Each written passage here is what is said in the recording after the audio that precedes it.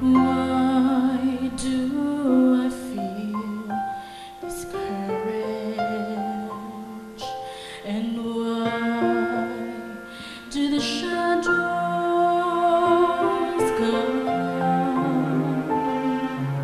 And why does my heart feel lonely and?